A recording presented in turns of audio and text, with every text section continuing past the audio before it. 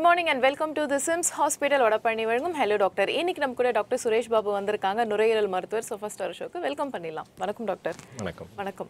Doctor பொதுவாகவே பார்த்தீங்கன்னா நுரையீரல் சம்மந்தப்பட்ட நோய்கள் நிறையவே இருக்கு. ஆனால் இந்த காலையில் எழுந்தோன்னே பார்த்தீங்கன்னா நம்மளுக்கு தொண்டெல்லாம் ஒரு மாதிரி வழுவழுப்பா கர கர கரன்னு இருந்துட்டே இருக்கும். ஸோ பெரியவங்களாம் என்ன சொல்லுவாங்க? ஸ்பிட் பண்ணணும் அப்படின்னு சொல்லுவாங்க. ஒரு மருத்துவராக நீங்கள் என்ன நினைக்கிறீங்க டாக்டர் இதை பற்றி பொதுவாக எப்படின்னா நம்ம காலையில் எழுந்து நமக்கு அந்த வரக்கூடிய அந்த சளி அந்த த்ரோட்டில் வந்து அந்த செக்ரேஷன்ஸ்னு சொல்கிறோம் ஸோ அது வந்து எல்லாருக்குமே வரும். நார்மலாக வந்து லங்ஸ் வந்து அதோட லங்ஸோட கிளியரிங் மெக்கானிசம் ஸோ லங்ஸில் இருந்து நுரையீரலில் இருந்து நம்ம உள்ள ஃபார்ம் ஆகிற அந்த மியூக்கஸ் மியூக்கஸ்ங்கிறது எதுக்காக நமக்கு வருது அப்படின்னா அது வந்து ஒரு ப்ரொடெக்டிவ் லேயர் ஃபார்ம் பண்ணிடும்.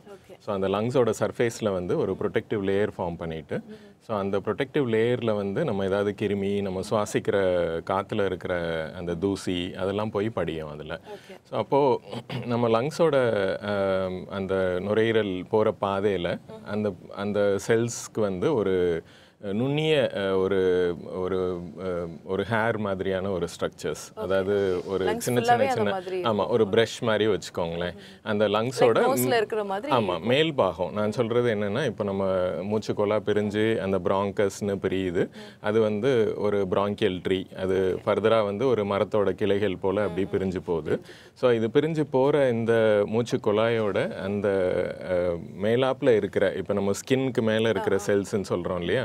அதே மாதிரி அந்த ப்ராங்கஸோட அந்த மேலோட்டமாக இருக்கிற அந்த செல்ஸ் வந்து அது வந்து ஒரு ப்ரஷ் மாதிரியான ஒரு சீலியேட்டட் செல்ஸ் அப்படின்னு சொல்லுவோம்.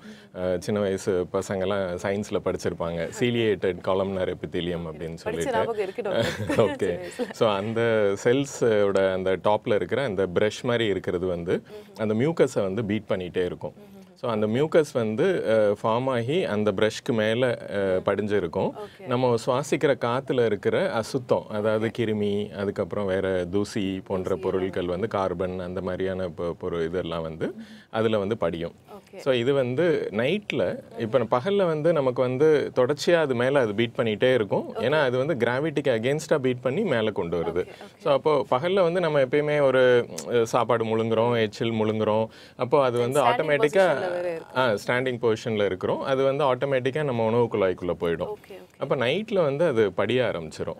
அப்போ அது வந்து படிஞ்சு மெல்ல மெல்ல மெல்ல வந்து த்ரோட்டில் கலெக்ட் ஆகி இருக்கும். இதை தான் வந்து காலையில் வந்து ப்ரஷ் பண்ணும்போது எனக்கு நிறைய சளி வருது அப்படின்னு நினைப்பாங்க. இது வந்து ஒரு நார்மல் இதுதான். சப்போஸ் நமக்கு அந்த மியூக்கஸ் ஜாஸ்தி ஆகுது ஏதாவது ஒரு டிசீஸ்னால ஜாஸ்தி ஆகுது அப்படின்னா நிறைய வரும் வர ஆரம்பிக்கும். அப்போ நம்ம அது என்ன காரணம் அப்படிங்கிறத நம்ம பார்க்கணும். ஸோ நிறைய வரும்போது ஏதாவது இன்ஃபெக்ஷன் இருக்க மாதிரி ஒரு அறிகுறியா டாக்டர் அது? இருக்கலாம். ஏன்னா அது வந்து இப்போ மியூக்கஸ் வந்து நார்மலாக ஒரு ஜெல்லி போல் ஒரு கிளியர்லெஸ் லிக்விடாக இருக்கும். இல்லைன்னா ஒரு வெள்ளையாக இருக்கலாம். ஆனால் அதே இது கொஞ்சம் மஞ்சள் நிறமாக இல்லை பச்சை நிறமாக மாறுச்சுன்னா அப்போ இன்ஃபெக்ஷன் வர்றதுக்கான அறிகுறி. அது இன்ஃபெக்ஷனாக இருக்கலாம். Okay okay okay doctor and சில பேருக்கு பார்த்தீங்கன்னா வயதாகும் போது படிக்கட்டு ஏறும்போது ஒரு மாதிரி மூச்சு வாங்குதுன்னு சொல்லுவாங்க. வயதானவர்களுக்கு மூட்டு வலி வருது ஓகே. ஆனா மூச்சு வாங்குறது எதனால டாக்டர் வயசாகும்போது மூச்சு வாங்குறது வந்து நம்ம நார்மல்னு எடுத்துக்க முடியாது. ஸோ முதல் காரணம் ரொம்ப சாதாரணமான காரணம் என்னன்னு சொல்லலாம்னா நான் அவங்க வந்து சரியானபடி நடை தினம் ஒரு வாக்கிங் அந்த மாதிரியான ப்ராக்டிஸ் பண்ணாமல் ஆமாம் எக்ஸசைஸ் இல்லாமல் இருக்கிறது ஒரு காரணமாக இருக்கலாம். ஏன்னா வயசாக ஆக உங்களோட ஆக்டிவிட்டீஸ் கம்மியாகும். டெஃபினட்டாக வந்து ஒரு நம்ம வந்து யங் ஏஜில் வந்து நம்ம இருக்கிற அந்த ஆக்டிவிட்டி இருக்காது. ஸோ ஒரு வேலைக்கு போகிறோம் வேலை வேலை பார்க்குற இடத்துல நம்ம ஆக்டிவாக இருக்கிறோம் வேகமாக நடக்கிறோம் எல்லாம் செய்கிறோம் ஆனால் வயசாக ஆக நம்ம ஆக்டிவிட்டீஸ் கொஞ்சம் கம்மியாக தான் செய்யும். ஸோ கம்மியாகும்போது அவங்களுக்கு வந்து என்ன ஆகும்னா எக்ஸசைஸ் கம்மியாயிடும். ஸோ அப்போது அவங்க வந்து ஒரு ரெகுலர் எக்ஸசைஸ் ப்ரோக்ராமில் இல்லை. ஃபார் எக்ஸாம்பிள் அவங்க வந்து ஒரு டெய்லி ஒரு டுவெண்ட்டி மினிட்ஸ் வாக்கிங்கோ இல்லைன்னா ஒரு எக்ஸசைஸோ இல்லை யோகாவோ இல்லை ஸ்விம்மிங்கோ சைக்கிளிங்கோ ஏதோ ஒன்று அவங்க பண்ணாமல் இருக்கிறாங்க அப்படின்னா அப்போ அவங்களுக்கு வந்து கண்டிப்பாக அந்த எக்ஸசைஸ் இன்டாலரன்ஸ் தெரிய வரலாம். ஸோ ரெண்டாவதாக வயசாகும்போது அவங்களுக்கு எடை கூடுச்சுன்னா இந்த மாதிரி ஆக்டிவிட்டீஸ் கம்மியாக ஆகும்போது அவங்களுக்கு சடனாக ஒரு வெயிட் கெயின் வருது. இல்லை வேற பிரச்சனைகள்னால வெயிட் கெயின் வருதுனாலும் அவங்க வந்து நடக்கும்போது அந்த மாதிரி இருக்கும்போது மூச்சு வாங்கலாம். இது தவிர அதாவது நம்ம அந்த மூச்சு வாங்குற தன்மையை வந்து நம்ம பிரிப்போம். அதாவது எனக்கு வந்து ஒரு படி ஏறினா தான் மூச்சு வாங்குது வேகமாக நடந்தால் தான் மூச்சு வாங்குது அது அது ஒரு ஒரு இது. இன்னொன்று வந்து எனக்கு வந்து ஒரு என்னோட சம வயதினரோட நடக்கும்போது எனக்கு மூச்சு வாங்குது. ஸோ அப்போ வந்து அது வந்து ரெண்டாவது கட்டம். மூணாவது கட்டம் என்னன்னு கேட்டிங்கன்னா எனக்கு வந்து ஒரு அஞ்சு நிமிஷம் நடந்தால் கூட மூச்சு வாங்குது அப்படின்னு சொல்லுவாங்க. ஒரு நூறு மீட்டர் தான் என்னால் கவர் பண்ண முடியுது அப்படின்ட்டு.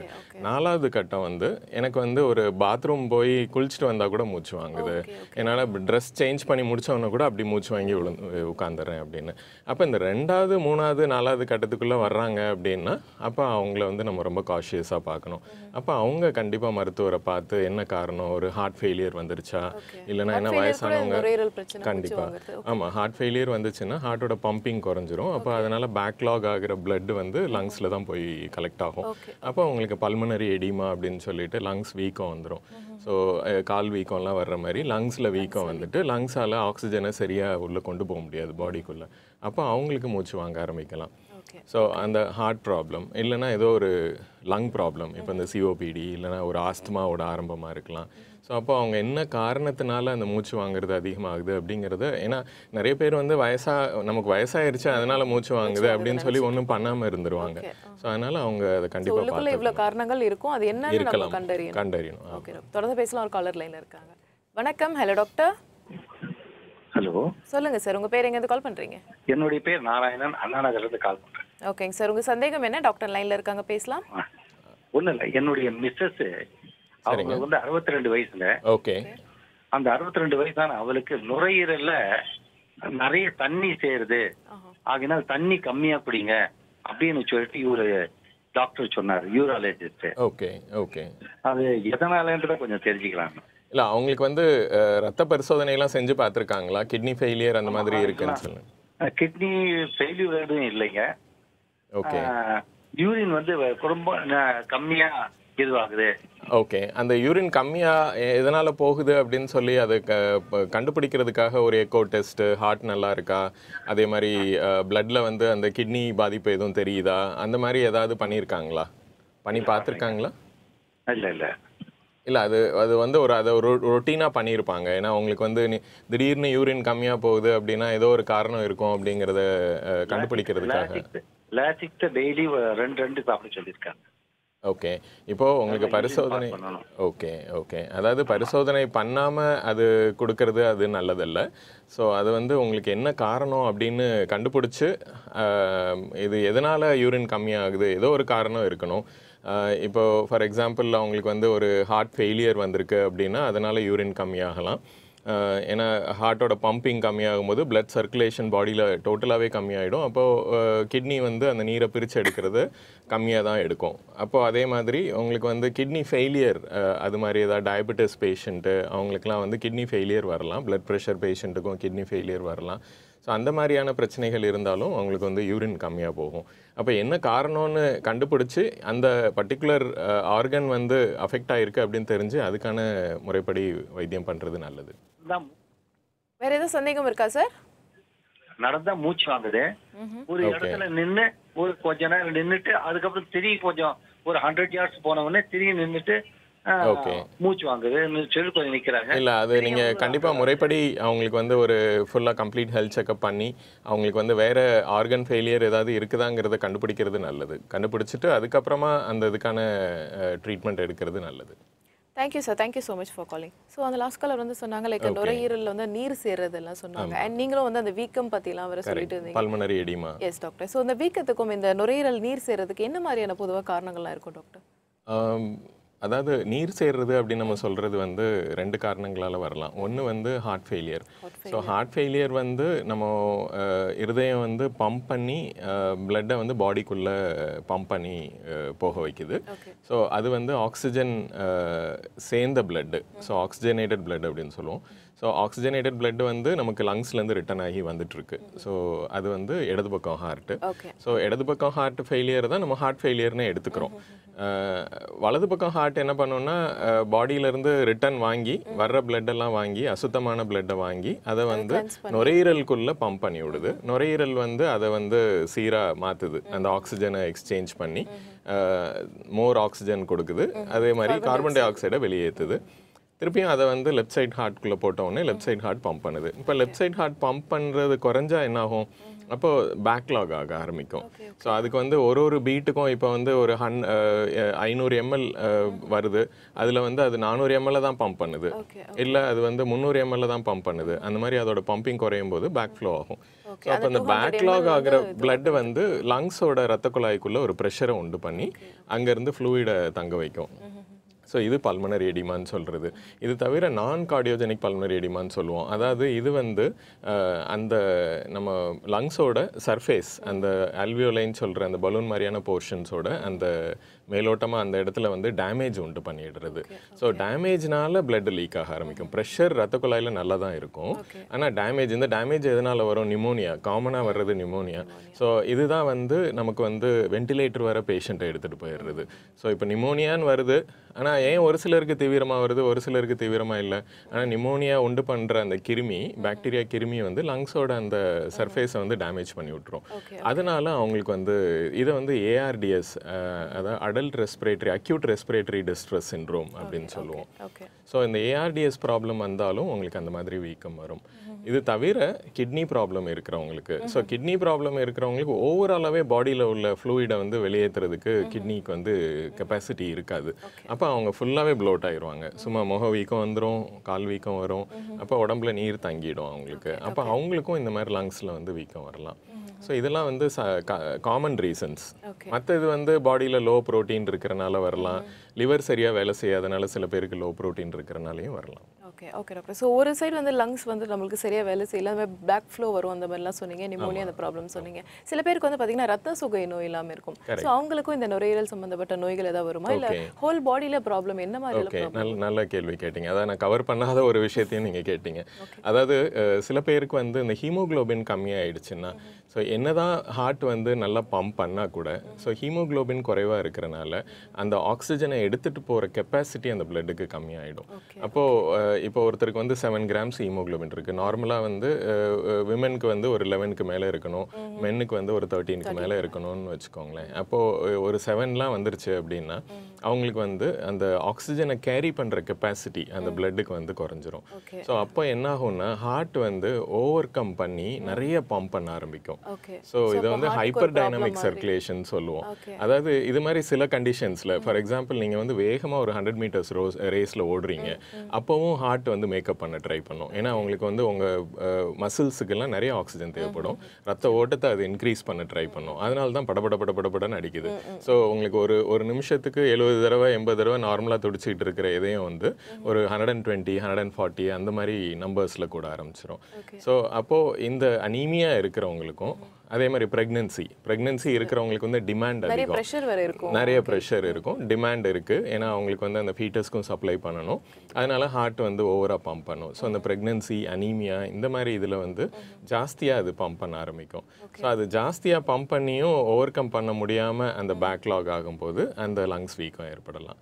ஸோ அப்போ இது வந்து இதுவும் ஒரு டைப் ஆஃப் கார்டியாக் ஃபெயிலியர் ஆனால் இது வந்து ஹை அவுட்புட் ஃபெயிலியர்னு சொல்லுவோம். பம்பிங் நல்லா தான் இருக்கு. நிறைய பிளட்டை செலுத்துது. ஆனா பத்தல உடம்புக்கு பத்தல. அதே இது வந்து பம்பிங் கம்மியா இருக்கு அதனால பேக்லாக் ஆகி எடிமா வருது. பம்பிங் வந்து டிமாண்ட் அதிகமா இருக்கனால ஹார்ட் வந்து நல்லா தான் இருக்கு அதோட மசில்ஸ்லாம் நல்லா இருக்கு. ஓகே ஆனா வந்து அது வந்து இன்னும் இன்னும் டிமாண்ட் அதிகமா இருக்கு. ஏன்னா அது வந்து அந்த பிளட்டுக்கு உள்ள தன்மை ஆக்சிஜனை கேரி பண்ற தன்மை வந்து குறைவா இருக்கு. ஓகே டாக்டர் அண்ட் வீட்டிலலாம் பார்த்தீங்கன்னா இப்போ பொதுவாக மழைக்காலம் இல்லைன்னா இப்போ கொசுக்கள்லாம் கூட வர ஆரம்பிச்சிச்சுன்னு சொல்லலாம். இந்த மஸ்கிட்டோ ரீஃபில் காயில்ஸ் எல்லாம் யூஸ் பண்ணுவாங்க. ஸோ அது வந்து எந்த அளவுக்கு நுரையீரல் எல்லாம் பாதிக்கப்படுத்துதா டாக்டர் அது? கண்டிப்பா. ரொம்ப இன்னைக்கு ரொம்ப ரொம்ப நல்ல கேள்வியெல்லாம் கேட்குறீங்க உண்மையிலே. அதாவது இது வந்து இந்த மஸ்கிட்டோ காயிலை பற்றி ரொம்ப ஒரு பெரிய ஸ்டடியே பண்ணாங்க. ஸோ மஸ்கிட்டோ காயில்ஸ் வந்து இப்போ கான்ஸ்டண்ட்டாக நம்ம வந்து ஒரு ஸ்மோக்குக்கு எக்ஸ்போஸ் ஆனோம்னா அஹ், நம்ம வந்து சிஓபிடிங்கிற ப்ராப்ளம் வர்றதுக்கு காரணமாக இருக்கிறோம். ஸோ இப்போ ஸ்மோக்கிங் பண்ணுறவங்க நேர புகையை உள்ள செலுத்துறது. ஸோ அப்போது மஸ்கிட்டோ காயில்ஸ் வந்து வைக்கிறனால சிஓபிடி வருது அப்படிங்கிறத நம்ம நாட்டில் ப்ரூவ் பண்ணியிருக்காங்க. ஸோ அதுவும் நம்மளுக்கு அன்ஹெல்தி தான். ஆமா ஆமா. அதாவது அவங்க என்ன சொல்லியிருக்காங்கன்னா ஆல்மோஸ்ட் ஒரு மஸ்கிட்டோ காயில் வைக்கிறது வந்து almost two hundred cigarette smoke பண்றதுக்கு ஈக்குவல் ஓ சிகரெட் ஸ்மோக் பண்ணிட்டே போயிடலாம். அப்பதான் டாக்டர் குழந்தைங்க எல்லாம் வேற வீட்டில் இருக்காங்க. கண்டிப்பா கண்டிப்பா. ஸோ இது வந்து ரொம்பவே டேமேஜ் பண்ணுது. அது தவிர ஆஸ்துமா நோயாளிகளுக்கு வந்து நிறைய உள்ள மூச்சடைப்பு ஏற்படுறதுக்கு வாய்ப்பு இருக்கு. ஓகே ஸோ அவங்களுக்கு வந்து அக்ரவேட் ஆகும். ஏன்னா அவங்க ஸ்மோக்கு குழந்தைங்களுக்குலாம் வந்து இப்போ ஆஸ்துமா இருந்ததுன்னா அவங்களுக்கு வந்து அந்த மஸ்கிட்டோ காயில் நம்ம உள்ளே வைக்கும்போது ஏன்னா நம்ம ஒரு ரொம்ப என்க்ளோஸ்டு ரூமில் வைக்கிறோம். ஸோ அப்போ என்க்ளோஸ்டு ரூமில் அவ்வளோ டென்ஸாக நம்ம ஸ்மோக்கை உற்பத்தி பண்ணும்போது அது கண்டிப்பாக பாதிப்பை ஏற்படுத்தும். ஓகே அண்ட் அது லங்ஸ்ல போயிட்டு பிளட் ஃபுல்லா கலக்கிறதுக்கும் வாய்ப்பு இருக்கு இல்லைங்களா டாக்டர் அது? கண்டிப்பாக அதோட டாக்ஸிக் சப்ஸ்டன்சஸ் நமக்கு வந்து என்னன்னு தெரியாது. ஸோ அது வந்து நம்ம கரெக்டான முறைப்படி அதை தயாரித்து அது வந்து ஒன்றும் பண்ணாது அப்படிங்கிறதெல்லாம் நம்ம டெஸ்ட் பண்ணி அப்புறம் தான் நம்ம வந்து ஒரு ப்ராடக்ட் வந்து நமக்கு வரணும். ஸோ அதனால் அதுக்கு அந்த இதுக்கு நம்ம கேரண்டி இருந்தால் தான் ரொம்ப நல்லது. அது தவிர பெரும்பாலும் காயில்ஸ் யூஸ் பண்ணாமல் நம்ம வந்து இப்போ வரக்கூடிய அந்த இந்த மேட்டு அந்த லிக்விட்ஸு அது அது போகிறது பெட்டர் ஆக்சுவலாக ஸோ ஏன்னா அது எல்லாமே ஒரு கொசுவை கில் பண்ணுற அளவுக்கு தான் வந்து அதுக்கான டாக்ஸிக் எஃபெக்ட்ஸ் இருக்கே இப்போ கொசு எல்லாமே அந்த ரெசிஸ்டன்ஸ் பவர் கிரியேட் பண்ணிச்சு டாக்டர் நம்ம ஹியூமன்ஸ் தான் இன்னும் அது வந்து பவர் இது பண்ணல நினைக்கிறேன். நம்ம மக்களோட உயிர் இற- இறப்பு தான் அதிகமா ஆயிட்டே இருக்கு. அண்ட் ஆஸ்மா பத்தி சொன்னீங்க டாக்டர் ஸோ ஆஸ்மா பொறுத்தவரை பாத்தீங்கன்னா இந்த மாதிரி ஸ்மோக் அண்ட் டிராஃபிக்ல எல்லாம் டெய்லி அவங்க டிராவல் பண்ற ஒரு வாய்ப்பும் வந்து தினமும் இருந்துட்டு தான் இருக்கு. ஸோ அவங்களுக்கு இந்த டிராஃபிக் பொல்யூஷனால என்ன மாதிரி ப்ராப்ளம்லாம் வரும் டாக்டர் பொதுவா? ஆஹ் இப்போ பொல்யூஷன் பொல்யூஷன் எடுத்துக்கிட்டா வந்து பொல்யூஷன் வந்து இடத்துக்கு இடம் வேரி வேரி ஆகும் ஸோ ஒரு இடத்துல வந்து ஜாஸ்தி இருக்கும். விதின் த சிட்டியே ஒரு இடத்துல ஜாஸ்தி இருக்கும் ஒரு இடத்துல கம்மியாக இருக்கும் அந்த மாதிரி. ஸோ அப்போது கண்டிப்பாக அவங்களுக்கு வந்து இப்போ நம்ம ரோட்டில் வந்து ஓப்பனாக ட்ராவல் பண்ணுறோம் இப்போ வந்து ஒரு என்க்ளோஸ்டு வெஹிக்கிளில் நம்ம ட்ராவல் பண்ணும்போது ஓரளவுக்கு பொல்யூஷனை வந்து நம்ம அவாய்ட் பண்ணலாம். எஸ்பெஷலி நம்ம வந்து ஏசிலாம் ஆன் பண்ணிட்டு போனோம்னா காரில் போகும்போது. ஸோ இப்போ வந்து நம்ம ஓப்பனாக போகும்போது கண்டிப்பாக வந்து அந்த பொல்யூஷனோட தாக்கம் அதிகமாக தான் இருக்கும். ஸோ அஸ்துமா நோயாளிகளுக்கு இது வந்து நல்லதல்ல. ஸோ கண்டிப்பாக பொல்யூஷன் வந்து இப்போ என்னென்னா இப்போ அஸ்துமா மட்டுமல்ல சிஓபிடியுமே அடுத்து பொல்யூஷன்னால அவுட்டோர் இன்டோர் பொல்யூஷன்னால அதிகமாக இன்டோருங்கிறது ப்ரூவ் ஆயிடுச்சு. ஓகே அதாவது நான் கொஞ்சம் டாபிக் டிவேட் ஆகிறேன்னு நினைக்கிறேன். இன்டோருங்கிறது வந்து நம்ம வந்து இன்னும் கேஸ் கனெக்ஷன் இல்லாத வீடுகள் இந்தியாவில் இருந்துட்டு இருக்கு. ஸோ அப்போ அவங்க வந்து விறகடுப்பு கரியடுப்பு யூஸ் பண்ணிட்டு இருக்காங்க. ஸோ அவங்களுக்கு வந்து சிஓபிடி அந்த ப்ராப்ளம் வர்றதுக்கான வாய்ப்பு அதிகம். எப்படி நம்ம கொசுவர்த்தி சுருள் பற்றி பேசினோமோ அதே மாதிரி அந்த வீட்டுக்குள்ள அவங்க வந்து ஒரு சமையல் பண்ணும்போது அவ்வளோ புகை எக்ஸ்போஷரோட அவங்க வந்து நாள் கணக்கில் அதை பண்ணிகிட்டே இருக்கும்போது அவங்களுக்கு வந்து நுரையீரலில் வந்து மூச்சு அடைப்பு நோய் வர்றதுக்கான வாய்ப்பு இருக்குது இது தவிர அவுட்டோர் பொல்யூஷன் பற்றி நிறைய ஸ்டடீஸ் போயிட்டுருக்கு. நம்ம அந்த PM two point five particle அது அதோட ஹார்ம் அது வந்து ஏன்னா லங்கோட டீப் பார்ட்ஸ் வரைக்கும் பெனிட்ரேட் பண்ணும்.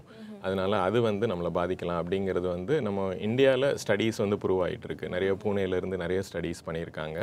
ஸோ ஒண்ணுமே பண்ண முடியாது இல்லைங்களா? இது நம்ம வந்து பொல்யூஷன் கம் கம்மி பண்ணுறது தான் அதாவது சோர்ஸில் கம்மி பண்ணுறது பெட்டர் ராதர் தென் நம்ம வந்து இன்ஹேல் பண்ணுறதுல ஒரு மாஸ்க் வேர் பண்ணியோ இல்லை எவ்வளோதான் போயிட்டு நம்ம ஒரு பெரிய ஹெல்மெட் வேர் பண்ணிட்டு வண்டி ஓட்டினாலும் கண்டிப்பாக அந்த பொல்யூஷன் நம்மளை அஃபெக்ட் பண்ண தான் செய்யும். நிச்சயமா கண்டிப்பா டாக்டர் அண்ட் இன்னொரு விஷயம் பார்த்தீங்கன்னா இப்போ எல்லாருமே வீட்ல இருந்து ஆஃபீஸ்ல இருந்து ஸ்கூல்ல இருந்து எல்லா இடத்துலயுமே ஏசி வந்து கண்டிப்பா இருந்துட்டு தான் இருக்கு. அண்ட் சில அட்வர்டைஸ்மெண்ட்லாம் பார்க்கும்போது அந்த டஸ்ட் அண்ட் ஜெர்ம்ஸ் எல்லாம் கில் பண்ற மாதிரி அதெல்லாம் ஃபில்டர் பண்ணி இருக்கிற மாதிரி சொல்றாங்க. ஓகே அண்ட் நம்மளும் வந்து அந்த ஏர் ஃபில்டர் எல்லாமே அடிக்கடி ரிமூவ் பண்ணிட்டே இருக்கணும் க்ளீன் பண்ணிட்டே இருக்கணும் அப்படின்ற ஒரு ஸ்டடி இருக்கு. க்ளீன் பண்ணாம இருக்கும்போது எந்த மாதிரியான ஜெர்ம்ஸ் எல்லாம் நுரையீரல் எல்லாம் தாக்கும் டாக்டர் கண்டிப்பாக அதாவது ஏர் கண்டிஷனர் வந்து நம்ம யூஸ் பண்ணுறது போது உள்ள வந்து அந்த ஃபில்டர் இருக்கும். அந்த ஃபில்டர் தவிர பேஃபில்னு ஒன்று இருக்கும். அந்த ஃப்ளூயிட் வந்து கலெக்ட் ஆகும் அந்த இடத்துல. ஸோ அந்த ஃப்ளூயிடில் வந்து ஃபங்கஸ் கிருமி வரலாம். ஸோ அது வந்து அந்த ஃபங்கஸ் இப்போ நாள் ஒரு ரொம்ப நாளாக அந்த இதை பேஃபில்லாம் க்ளீன் பண்ணாமல் அப்படியே விட்டுருந்தோன்னா அந்த ஃபங்கஸ் கிருமி வந்து ஒரு ஆஸ்மா நோயாளிகள்லாம் தாக் தா- தாக்கலாம். ஏன்னா ஆஸ்மா நோயாளிகளுக்கு இந்த ஃபங்கஸ்னால கொஞ்சம் அவங்களுக்கு வீசிங் வரும். இது தவிர அந்த ஏர் கண்டிஷனருக்குன்னே சில கிருமிகள் இருக்குது சில பாக்டீரியா கிருமிகள் இருக்குது ஃபார் எக்ஸாம்பிள் வந்து ஒரு ஏசியில் வேலை செய்கிற நீங்கள் ஒரு சாஃப்ட்வேர் இன்ஜினியரை எடுத்துக்கோங்க. அவங்க வந்து ஒரு டெய்லி ஒரு டென் ஹவர்ஸ் ஒர்க் பண்ணுறாங்க இல்லை டுவெல் ஹவர்ஸ் ஒர்க் பண்ணுறாங்க கண்டினியூஸாக ஏசியில் இருக்கிறாங்க. ஸோ அப்போது அங்கே வந்து அந்த கிருமி அந்த லெஜியோனெல்லான்னு சொல்லுவோம் அந்த கிருமி. ஸோ அதை அது வந்து இன்ஹேல் பண்ணுனாங்கன்னா அவங்களுக்கு வந்து ஒரு நிமோனியா வரைக்கும் போகிறதுக்கு வாய்ப்பு அவ்வளோ இருக்கு. அந்த அளவுக்கு ரிஸ்க் இருக்கு. ஸோ அந்த மாதிரி ஏர் கண்டிஷனர்னால வரக்கூடிய சில கிருமிகள் வேற வேற சில கிருமிகள் இருக்கு. அதெல்லாம் வந்து அந்த லங்ஸோட அல்வியோலை அந்த போர்ஷனை ரொம்ப நாள் எக்ஸ்போஸ் ஆகிறனால அஃபெக்ட் பண்ணக்கூடிய கிருமிகள். அதெல்லாம் வந்து கொஞ்சம் பார்த்தீங்கன்னா நார்மல் டிசீசஸ் ப்ரொடியூஸ் பண்ணாது. ஆனால் லங்ஸோட அந்த அல்வியோலையே பாதிக்கும். அல்வியோலைட்டிஸ்ன்னு சொல்லுவோம். ஹைப்பர் சென்சிட்டிவிட்டி நிமோனைட்டிஸ்னு ஒரு குரூப் ஆஃப் டிசீசஸ் இருக்கு. ஓகே அதை தாக்கம் பண்ணலாம். அந்த ஏசி வந்து. நான் காமன் அப்படின்னு எடுத்துக்கிட்டோம்னா இந்த லெஜியோனல்லா கிருமி வந்து ரொம்பவே பாதிக்கும். ஸோ அப்போ அது வந்து ஒரு ஆன்டிபயோட்டிக்லே சரியாக போயிடும். ஆனால் அது வந்து அதோட தாக்கம் கொஞ்சம் ஜாஸ்தி தான் இருக்கும். ஓகே டாக்டர் ஸோ ரீசெண்ட் ஒரு நியூஸ் பார்த்தீங்கன்னா ஏசியில் இந்த பாம்புலாம் கூட பார்த்தாங்கன்னு சொல்லிட்டு. ஃபங்கஸ் இருக்கோ இல்லையா அட்லீஸ்ட் பாம்பு ஏதாவது இருக்கான்றதுக்காக தான் நம்ம க்ளீன் பண்ணி ஆகணும். அப்படின்னு நினைக்கிறேன். ஓகே டாக்டர் அண்ட் சாப்பிடும்போது பார்த்தீங்கன்னா பொதுவாக பேசக்கூடாது அப்படின்ற மாதிரி சொல்லுவாங்க. புறையிறதுன்னு சொல்லுவாங்க. ஸோ இது என்ன மெக்கானிசம் டாக்டர் ஆக்சுவலாக அது நுரையீரல அந்த சாதம்லாம் போயிட்டு அதுவும் இன்ஃபெக்ஷன் ஆக வாய்ப்பு இருக்கா ஃபியூச்சரில் ஓகே அதாவது நீங்கள் பேசுகிறதுங்கும்போது பேசும்போது நம்ம வேறு மசில்ஸ் எல்லாம் யூஸ் பண்ணுறோம் நம்ம நம்மளோட ஆர்டிகுலேட்டிங் மசில்ஸ் எல்லாம் ரொம்பவே யூஸ் பண்ணுறோம் ஸோ அதை யூஸ் பண்ணும்போது நம்ம ஸ்வாலோயிங் மசில்ஸு ரெண்டும் சேர்ந்து ஒரு ரெண்டும் வந்து ஒரு கொஹிரண்ட்டாக வராத போது நம்ம அந்த மாதிரி புறை எரிக்குது. ஓகே ஸோ அதனால் சாப்பிடும்போது பேசக்கூடாதுன்னு சொல்கிறோம் இது ரொம்ப ஒரு கரெக்டான உண்மை. அது வந்து ரொம்ப ஃபேக்ட் அது வந்து. ஸோ அதனால் நம்ம வந்து குடும்பமான வரைக்கும் அந்த சாப்பிடும்போது பேசுறது அதாவது அந்த சூ பண்ணி முழுங்கிட்டு அப்புறம் பேசலாம். ஸோ அந்த ஊர்ல இருக்க அந்த ஊர் வம்புன்னு சொல்லுவாங்க தெரியுமா? ஆமா, அப்ப எல்லாம் நம்ம. அதை தான் பேசுவோம். அதனால கொஞ்சம் கஷ்டம் தான் பட் ஆனா அதால என்ன பாதிப்பு நீங்க சொன்னீங்கன்னா கொஞ்சம் கண்ட்ரோல் பண்ணலாம். ஓகே ஏன்னா இப்போ ஆஸ்பிரேஷன் அப்படின்னு வந்துருச்சுன்னா சப்போஸ் வந்து ஒரு பட்டாணி மாதிரி ஒன்று ஆஸ்பிரேட் பண்ணிட்டோம்னு வச்சுக்கோங்களேன் அது வந்து உள்ளே போய் லங்ஸை போய் அடைச்சிடலாம் ஓகே ஸோ சில பேருக்கு வந்து ஒரு ஆஸ்பிரேஷன் நடந்து உடனே அது ஓகே எல்லாம் நான் இருமி வெளியே வந்துருச்சு அப்படின்னு நினச்சிட்டு இருப்பாங்க ஆனால் உள்ளே போய் அது லங்ஸோட ஒரு பகுதியை மாட்டி மாட்டி அடைச்சிரும். அடைச்சிரும். ஸோ அப்போ அது அடைக்கும் போது அதோட சைஸ்க்கு என்ன ப்ராங்கஸ் இருக்கோ அந்த பர்டிகுலர் ஏரியாவை அது அடைச்சிரும். இப்போ வலது பக்கம் லோயர் பார்ட் அடைச்சிருச்சுன்னா அந்த லோயர் பார்ட்டில் வந்து திருப்பி திருப்பி நிமோனியா வந்துட்டே இருக்கும் உங்களுக்கு ஸோ எந்த போர்ஷனுமே உங்களுக்கு கிளியரன்ஸ் இல்லைன்னா உள்ள வந்து ஈஸியாக சளி தங்க ஆரம்பிச்சிரும். அந்த சளியில் வந்து கிருமி வர ஆரம்பிச்சிரும். ஓகே அப்போ அவங்களுக்கு நிமோனியா ஏன் வருது அப்படின்னு நாங்கள் ரெக்கரண்ட் நிமோனியாஸ்ன்னு சொல்லுவோம். இப்போ ஒரு ஒரு நிமோனியா வந்துருச்சு. ஒரு டாக்டர்கிட்ட போகிறாங்க ட்ரீட் பண்ணுவாங்க சரியாக போயிடும். அப்புறம் திருப்பியும் நிமோனியா ஒரு ரெண்டு ஒரு மாதம் கழிச்சு திருப்பியும் வரும். கரெக்ட் அப்போ வந்து அந்த ஃபாரின் பாடி இதை வந்து ஃபாரின் பாடின்னு தான் சொல்லுவோம் நம்ம. உள்ள வந்து பிராங்கோஸ்கோபி பண்ணி உள்ள அந்த ஃபாரின் பாடியை ரிமூவ் பண்ற வரைக்கும் அவங்களுக்கு அந்த ப்ராப்ளம் வந்துட்டே இருக்கும். ஓகே டாக்டர் இதை பத்தி தொடர்ந்து பேசலாம். ஒரு காலர் லைன்ல இருக்காங்க. வணக்கம். Hello doctor hello good morning நான் சென்னையிலேருந்து பேசுகிறேன் ஓகேம்மா உங்க சந்தேகம் என்னம்மா? என் ஹஸ்பண்டுக்கு டெய்லி. சாப்பிட ஆரம்பிச்ச உடனே ஒரு தும்மல் ஒன்று வருது. அது எதனால வருதுன்னே தெரிய மாட்டேங்கிறது. அதோட அவருக்கு வந்து கொரட்டை ப்ராப்ளமும் இருக்கு. டெய்லியே இது மாதிரி ஆகுது சாப்பிட ஆரம்பிச்ச உடனே வந்துடுறது. அது அவருக்கு? தூசி புகையில போனா தும்மல் வருமா? அது மாதிரி இருக்கும். ஆனா டெய்லி சாப்பிட ஆரம்பிச்ச உடனே அது என்னன்னே தெரியல. ஒரு தும்மல் ஒன்று வந்து மூக்குல தண்ணி கொட்டுறது இருக்காமா அவருக்கு?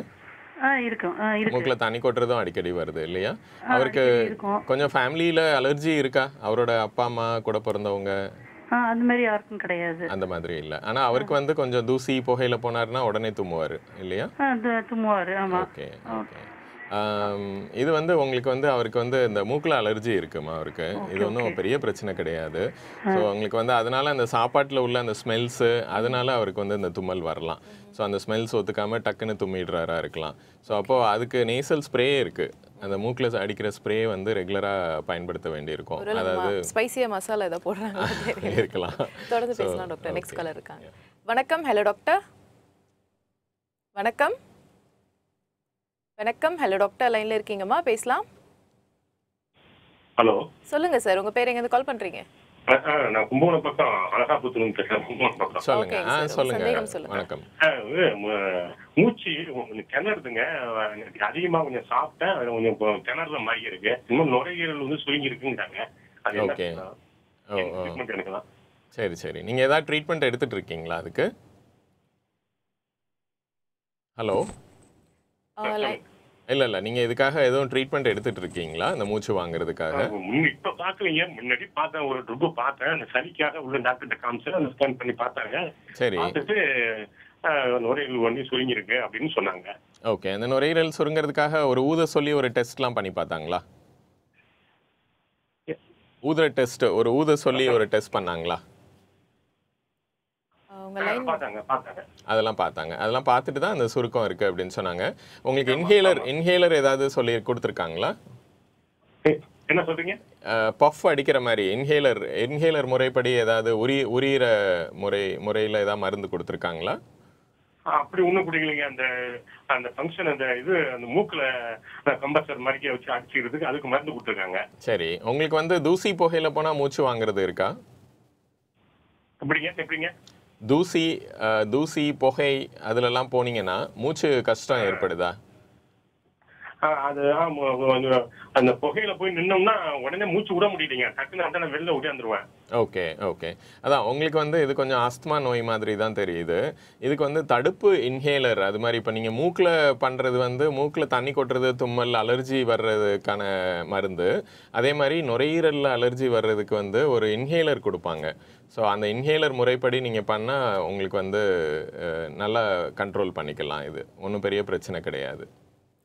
ஓகே டாக்டர் ஸோ சாப்பிடும்போது நிறைய பேருக்கு நுரையீரல் பிரச்சனை இருக்கும்னு நினைக்கிறேன் நான். அண்ட் இதை பத்தி பேசிட்டு இருந்தோம். லைக் சாப்பிடும்போது இந்த மாதிரி அடைச்சிக்கிடுச்சுன்னா சில பேர் வந்து. தலையில தட்டி விடுவாங்க. தண்ணி குடின்னு. சொல்லுவாங்க. பட் ஆனா நீங்க என்ன சொல்றீங்க? ஒரு சின்ன பருக்க கூட உள்ள போயிட்டு அது வரலனா இவ்ளோ ப்ராப்ளம் சொல்றீங்க. ஸோ தண்ணி குடிக்கிறது நல்லதா? தலையில தட்டுறது நல்லதா? இமிடியேட் இமிடியேட் ப்ரிகாஷன் அதுக்கு வந்து ஆக்சுவலாக வந்து ஹைம்லிக் மெனுவர் அப்படின்னு சொல்லிட்டு ஒரு மெனுவர் இருக்கு. அதாவது அவங்கள சப்போஸ் யாராவது ரொம்ப அந்த மாதிரி அடைச்சிருச்சு அப்படின்னு நம்ம ரொம்ப ஒரு ப்ரீதிங் எல்லாம் கொஞ்சம் கஷ்டமா இது பண்றாங்க அப்படின்னா அஹ், மேலோட்டமா இருக்கிற ஏர்வேயே பிளாக் ஆயிருச்சுன்னு அர்த்தம்.